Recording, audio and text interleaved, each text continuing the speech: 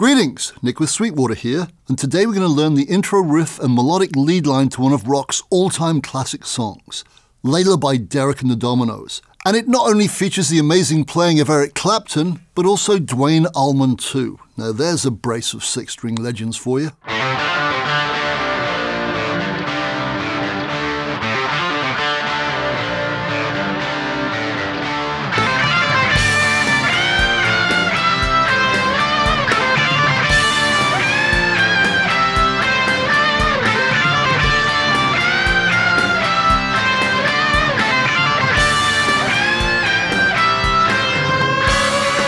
Layla was one of 14 songs on this album here, Derek and the Dominos' 1971 album, Layla and Other Assorted Love Songs. Although the songwriting credit for Layla only says Eric Clapton and Jim Gordon, Duane Allman deserves some major praise here too. Why?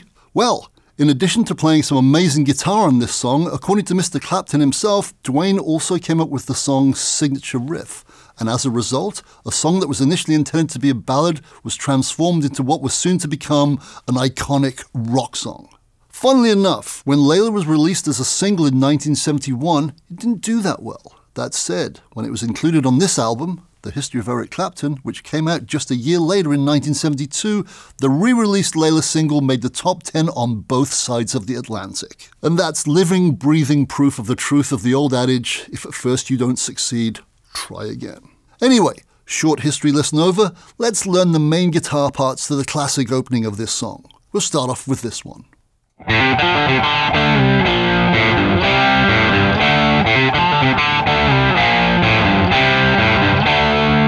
Oh, before we go any further though, I should quickly point this out. If you want to play along to the recorded version of Layla, you'll have to tune your guitar approximately a quarter of a step sharp. The reason for you having to tune this way?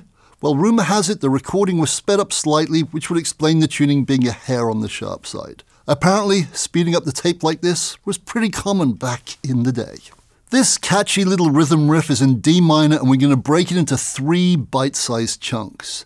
Now the first chunk consists of the first seven notes, surprise surprise, and they are these. And the second chunk is this short section. And the third and final chunk is this one. Hopefully breaking it up like this will make this riff pretty easy to digest when we're learning it. Let's go back to chunk one, shall we? Here it is one more time. And again, a little slower. All seven of these notes are played on just two strings, the A and the D, and you also only have to use one finger. nice! The first two notes are these, the open A string note, followed by a hammer on to the C note at the third fret on the same string just like this. So it's pick, then hammer. As you can see, I'm using my third finger to do the hammer on, but you can use whichever one you like, even your pinky. The next three notes are these. The open D string note, then a hammer on to the F note at the third fret on the same string, immediately followed by a pull off back to the open D string note. So it's pick, hammer on, pull off, just like this. So it's pick, hammer pull. And once again, I'm using my third finger to perform this hammer on and pull off move. Pretty simple so far, right? Here are the first five notes of chunk one. And again, a little slower. Now, being a math genius, I know this. 7 minus 5 equals 2. So we're a mere brace of notes away from learning the whole of chunk 1.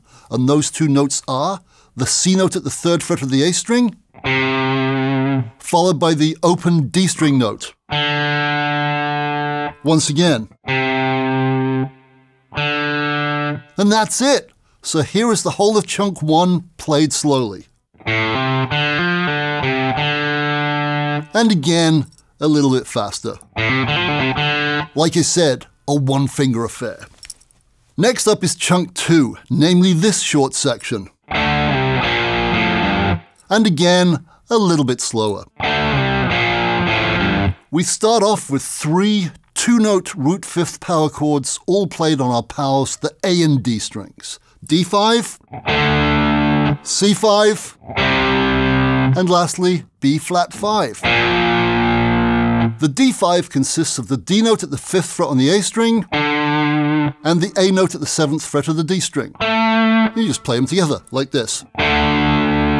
And as you can see, I'm fretting them with my first finger and pinky respectively.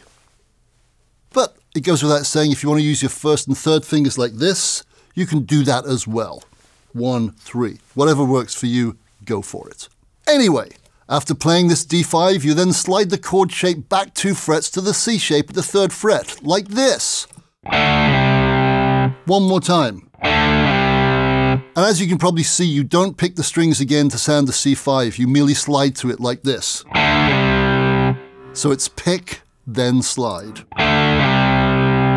Then after doing that, we play the same shape on the same two strings, but this time with my first finger at the first fret, and we get this, B flat 5. Like I said, my first finger is at the first fret on the A string, and my pinky is at the third fret of the D. So, so far we've got this. A simple three chord pick, slide, pick sequence, once again.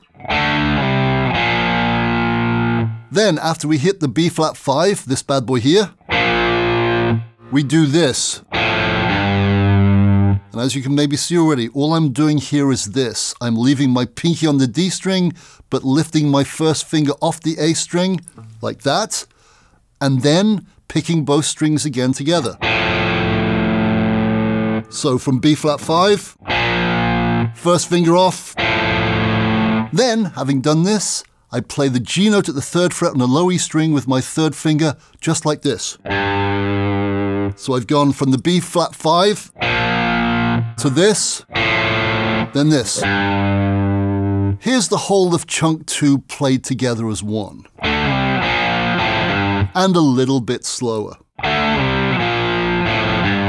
Not bad. Next up is chunk 3. Short and sweet. Here it is again, a little bit slower. As you've probably noticed, this one is pretty similar to the end of chunk 2. We start with the same C5 power chord on the A and D string we played earlier, this one. Then, just like we did towards the end of chunk 2, we lift our first finger off the A string, like this, and leave the other finger on the D string where it is, then we hit both of those strings together again, like this. So the first part of chunk 3 is this. We then play the G note at the third fret of the low E string again, but this time using our first finger, like this. So, so far, we've got this. Little bit slower. Then to finish it off, we go back to the D5 power chord we started chunk 2 with, namely this one. The one with my first finger at the 5th fret on the A string. So chunk 3 is this. One more time, a little slower. Having learnt these three chunks, we then put them together, and hey presto, we've got our opening rhythm riff, this bad boy here.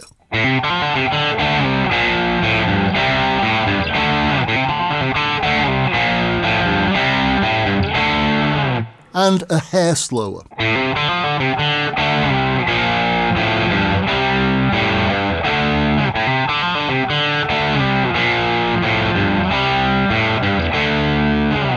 Right, next up is the lead melody line, and to do that, I'm going to change guitars, just because I can.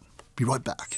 And there we have it, thanks to Digital Magic, the guitar change. As you've probably gathered from listening to the song, there's a whole bunch of guitar tracks on the start of Layla. Six, in fact, I think, including a couple of really cool slide guitar parts. That said, I'm not going to do six parts, so I've condensed what I think are the main two lines into one guitar part. Here's what he did at the start.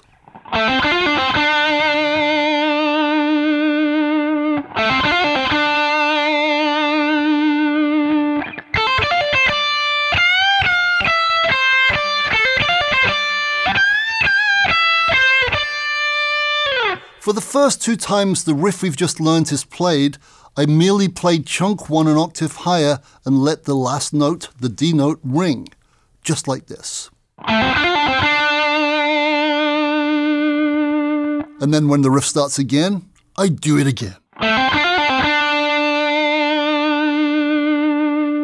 As you can see, I'm playing the exact same 7 note pattern as in chunk 1, but higher up the neck so it's an octave higher. I'm playing the A and C notes at the 7th and 10th fret on the D string, like this. And then the D and F notes on the same frets, but this time on the G string. So using those four notes, I'm merely repeating the same pick, hammer on, pick, hammer on, pull off, pick, pick pattern, just like this. And one more time, just a little bit slower.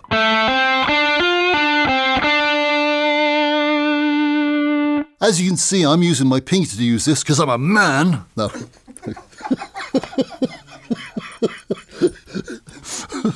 Layla, take two, marker. As you can see, I'm using my pinky to do this, but you can do it with your third finger if you like too. Like this. And don't forget, let that last note ring and add a nice little bit of vibrato to it as well, of course. So, after doing that twice, I then do this.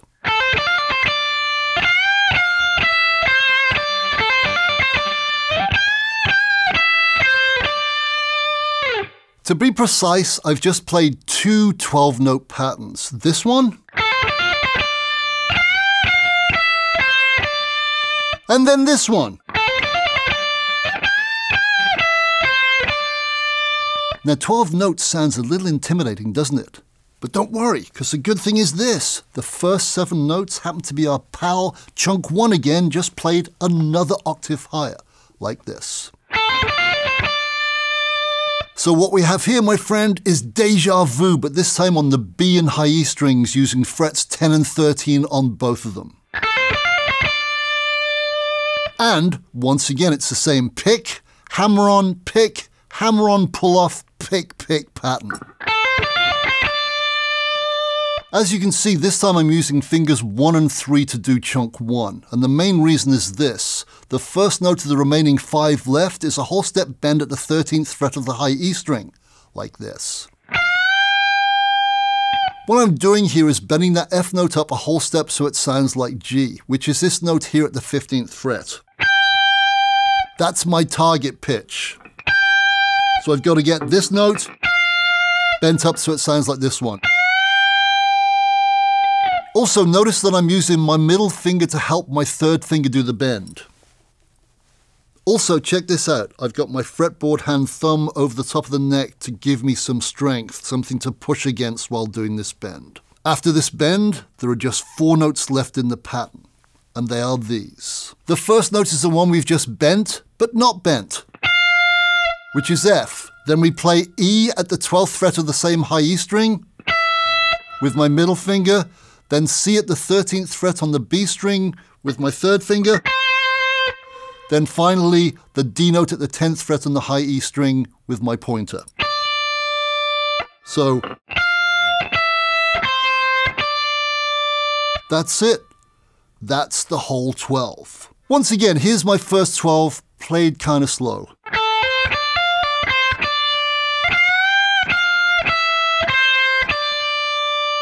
Right, next up is our second pattern of 12 notes. Now, what's cool about pattern 2 is this. Except for two notes, it's exactly the same as pattern 1. The first seven notes are exactly the same, namely our chunk 1 again, played on the high E and B strings, like this. And the last three are also the same. So, in a nutshell, the only difference between pattern 1 and pattern 2 is the bent note and the one that immediately follows it, which thankfully in both cases is the note that was just bent. In pattern 1, just to remind you, these two notes were these. Bending the F note up to G, then bringing it down and playing it as an F. And for pattern two, we do this. We do the same thing, but two frets higher. So this time we're bending a G note at the 15th fret up to sound like A, and then bringing it down like this. Make sense? So first seven notes, then that bend, bring it down, and then last three notes. That is pattern two. Here it is one more time.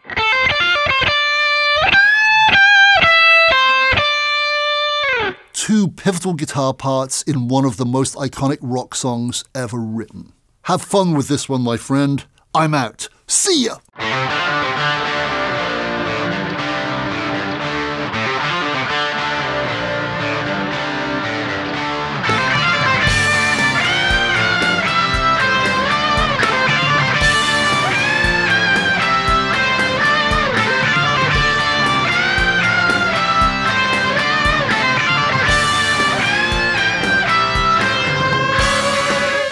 Thank you so very, very, very much for watching. Don't forget to like, comment nicely please, and subscribe. Click here for more videos like this, or start at sweetwater.com for all your music instrument and pro audio needs. Au revoir. See ya!